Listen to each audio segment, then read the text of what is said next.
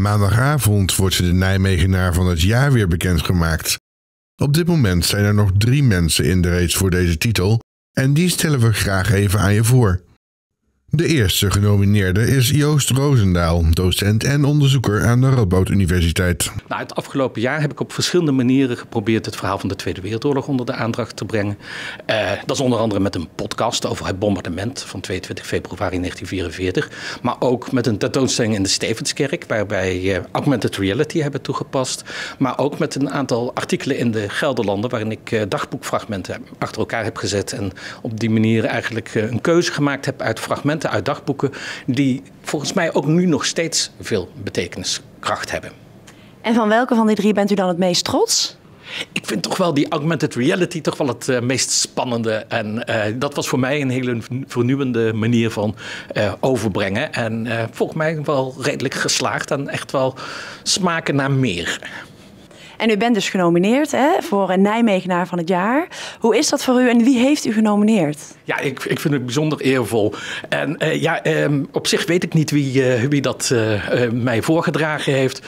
Ik weet wel dat er een, een, commissie is, een comité is, wat dan uit alle voordrachten drie genomineerden naar voren haalt. En dan wordt het aan het stadspanel overgelaten wie het dan gaat worden. Wat staat er nog voor de toekomst? Zijn er al projecten waarvan u iets kan zeggen?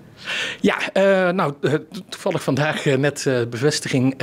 In september, 18 september, gaan wij vanuit Nijmegen Blijft in Beeld, waar ik ook actief in ben. Dat is het filmarchief van Nijmegen. Dan gaan wij een voorstelling geven in de Schouwburg. En daar twee voorstellingen zelfs, waarin wij filmbeelden van de Tweede Wereldoorlog, die door geallieerde militairen zijn gemaakt over Nijmegen in de periode vanaf september tot aan mei 45 september 44, mei 45. En uh, ja, daar ga ik een soort college over geven. Ga ik uh, uitleg geven bij welke, wat die beelden zijn en hoe je die moet uh, begrijpen. De tweede genomineerde is Larry Groten. Hij is lid van het Cardenas Collectief Nijmegen. Dus tussen Tamara en Rosalie vertellen over hem. Waarom hebben jullie Larry opgegeven? Nou, Larry is um, ja, echt een inspiratiebron voor, voor Kindness Collectief. Uh, maar wat ons betreft ook echt wel voor meer mensen in zijn omgeving. Hij doet heel vaak vriendelijke daden. Um, dus hij geeft bijvoorbeeld uh, uh, chocola aan de mensen die bij hem in het appartementencomplex wonen. hij koopt kaartjes en koffie um, voor mensen die hij niet kent. Deelt bloemetjes uit. Nou ja, zo is het echt iemand die heel veel vriendelijkheid en leuke dingen verspreidt door de stad. Het doen van vriendelijke dingen heeft een groot effect op mensen. En niet alleen de mensen die het ontvangen, maar ook het geven van vriendelijke, uh, nou, van het doen van iets vriendelijks. Dat is ook uh, een positief effect op jezelf. En ook de omstanders die een vriendelijke daad zien, die worden er ook weer blij van. Dus zo kan eigenlijk een kleine daad van vriendelijkheid een heel groot effect hebben op het geluk van mensen. Wat is een actie geweest waarvan je dacht, oh, maar dat was zo'n fijne actie om te doen? Um, ja, Larry heeft best wel veel dingen geïnitieerd, maar ik denk dat een van de leukste dingen die hij heeft is de uh, Kindness uh, Armageddon, um, de Carmageddon. En uh, ja, dat is eigenlijk een moment dat je zoveel mogelijk vriendelijke daden doet met zoveel mogelijk mensen op hetzelfde moment.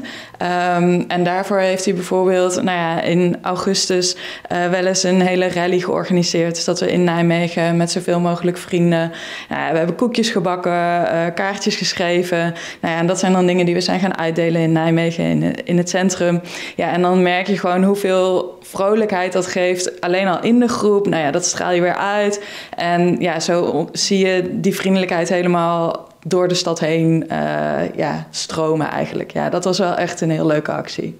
En de laatste genomineerde is Iris Kokoski de Show, directeur van een school speciaal voor nieuwkomers. Ik ben uh, Iris, Iris Kokoski de Show. Ik ben sinds 2018 hier directeur en sinds 2007 in het NT2-onderwijs uh, terechtgekomen. De Bloemberg is een eh, school speciaal voor nieuwkomers. Wij werken met kinderen die de Nederlandse taal niet beheersen of nauwelijks beheersen. En die hier vaak korter dan een jaar in Nederland pas zijn. Dat is vooral ons doel, Nederlandse taal aan te leren. Maar daarbij geven we ook rekenen en spelling en lezen en regels leren. Met elkaar samen omgaan. Want het zijn allemaal verschillende culturen die hier bij elkaar komen. Ik heb soms s ochtends om half negen wel eens het gevoel van, ja, waar, waar beginnen we aan? Dat is zo gigantisch complex. Ze komen hier binnen vaak met niks, zonder onderwijsachtergrond. Bijvoorbeeld met een oorlogstrauma. En na een paar weken uh, merk je gewoon een verandering. Arabische kinderen helpen Oekraïnse kinderen en ja, dat gebeurt gewoon. Iris, ja, uh, nou ik ken Iris al heel lang eigenlijk. We hebben samen de PABO gedaan. Zij is een fijne schoolleider en ik ga haar altijd knuffelen en zo.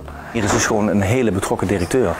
Die heel persoonlijk ook daarin is. Naar de kinderen, uh, naar ouders, maar ook naar collega's. Ze zegt zelf altijd een beetje van ik voel me meer een, een moeder dan een directrice. En ze heeft het afgelopen jaar uh, ook nog eens een keer een, een, een, extra school erbij genomen. Waar heel veel werk eh, te doen was. En terwijl ze daar heel hard werkte, was ze ook nog altijd hier aanwezig. Dat vond ik heel bijzonder. Het is vooral het, het oog hebben voor uh, ja, persoonlijke dingen van mensen.